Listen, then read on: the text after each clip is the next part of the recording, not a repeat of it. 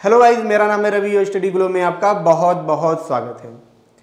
एक ऐसी चीज़ हुई है दोस्तों, जिससे अब ये कंफर्म हो चुका है कि अभी तक तो हम सिर्फ़ धरती पे लड़ रहे थे, लेकिन आने वाले वक्त में हम स्पेस में भी लड़ेंगे, खास करके चाँद पे। ऐसी, ऐसा मैं बात क्यों कर रहा हूँ? ठीक है दोस्तों चाइना ने क्या किया है? एक ऐसा क्रिस्टल ढूंढा है, ठीक है? एक ऐसा क्रिस्टल ढूंढा है जो बहुत ही ज़्यादा विस्फोटक है। ठीक है दोस्तों, ये इतना ज़्यादा विस्फोटक है कि यूरेनियम से कई कई गुना ज़्यादा ये एनर्जी हमको दे सकता है। लेकिन ये कैसे उन्होंने ढूंढा? देखिए 2020 में क्या हुआ था? इन्होंने एक मिशन लॉन्च की, लॉन्च किया था, ठीक है? जिसका नाम क्या था? चैंग ई फाइव करके। जब उस मिशन के तहत क्या हुआ? जब इनका जहाज़ वहाँ पे गया, ठीक है? तो उसने लगभग चार पाउंड का जो रॉक होता है, मिट्टी होती है, वहाँ से ये यहाँ पे लाया।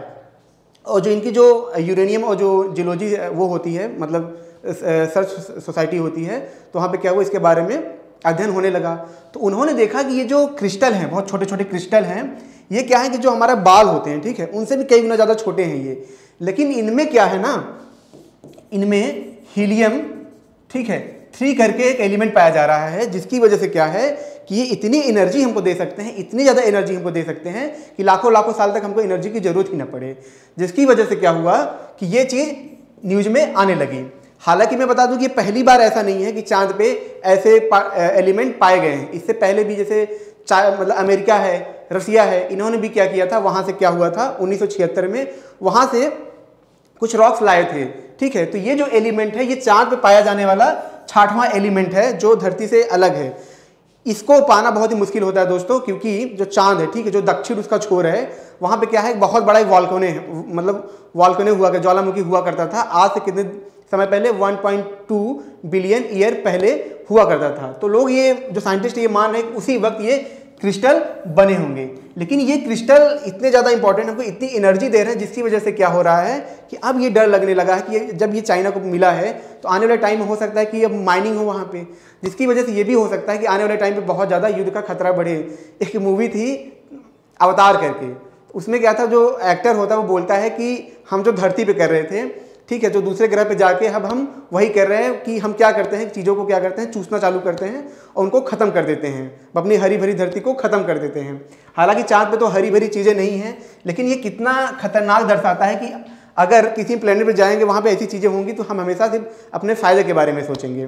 ठीक है दोस्तों, इसका नाम क्या है?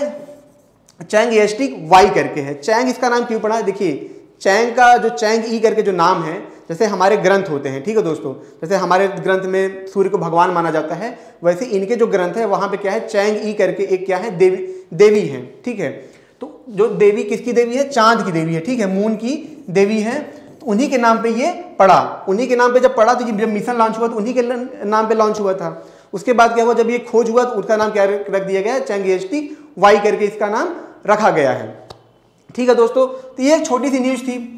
मुझे लगा कि आपको बताना चाहिए और ये बहुत महत, बहुत ही ज़्यादा महत्वपूर्ण है क्योंकि आने वाले टाइम में बहुत ही ज़्यादा रुख मोड़ेगा। हालाँकि मैं आपको दोस्तों बता दूँ कि जैसे एस्ट्रॉयड है इन सब पे जो मटेरियल होते हैं काफ़ी महँगे होते हैं। क्योंकि ये जब ये गुजरते हैं ये बहुत ज़्यादा हाई टेम्परेचर से होकर गुजरते हैं सन के पास गुजरते हैं जिसकी वजह से क्या होता है कि यहाँ पर ऐसे क्रिस्टल डायमंड ऐसे उन पर पाए जाते हैं जिसकी वजह से क्या हो रहा है कि आने वाले टाइम में फ्यूचर में जो प्राइवेट कंपनियाँ हैं या गवर्नमेंट है ये क्या कर रहे हैं कि एस्ट्रॉयड माइनिंग पे बहुत ज़्यादा फोकस कर रहे हैं, ठीक है? अभी तक तो उस पर ही फोकस कर रहा था, लेकिन अब तो हमको लगता है कि मतलब मून माइनिंग पे भी ये काम होना चालू हो जाएगा, ठीक है दोस्तों? तो ये छोटा सा लेक्चर था, अगर ये आपको अच्छा लगा हो तो प्लीज़ लाइक करें कमेंट करें शेयर ज़रूर करिएगा। मिलते हैं नेक्स्ट लेक्चर में।